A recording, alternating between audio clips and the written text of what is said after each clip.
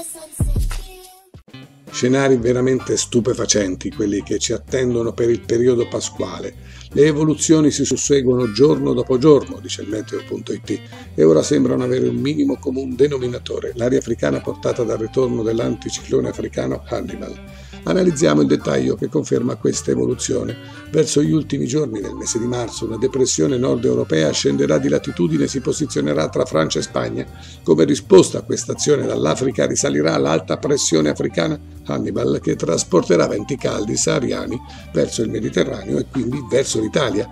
È logico capire come le regioni meridionali saranno le più colpite da questo afflusso africano, cosicché le temperature dal 31 marzo e fino al 2 aprile saliranno oltre la media del periodo di quasi 15 gradi.